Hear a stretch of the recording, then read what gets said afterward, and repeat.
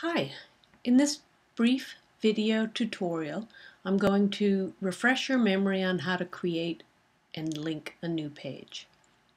So here I am in my portfolio page and you'll see that I'm logged in which I need to be if I want to edit.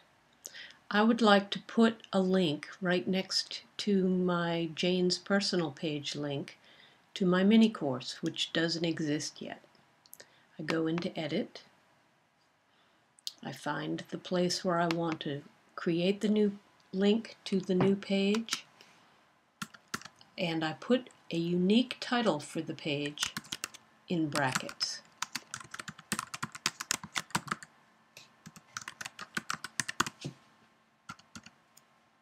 Double brackets.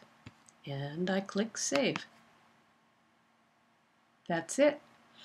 There's a link and as I scroll over, you say you see that the page does not yet exist.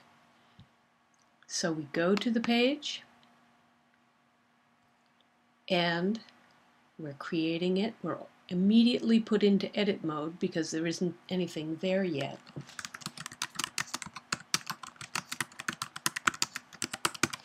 And of course later on I will add content to this. But for now I just want to put a little text on it save the page,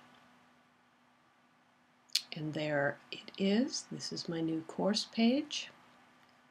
And if I click back a couple of times, I'll get back to my portfolio page. It still seems red. So I'm going to refresh the page. And now the link is blue because now it's going to go to an actual page. One more thing.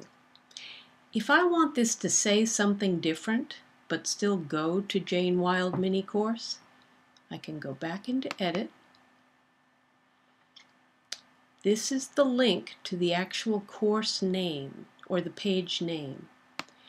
If I click at the end of that, type a pipe, which is the vertical line, the key above the enter or return, and then type the text I want to appear,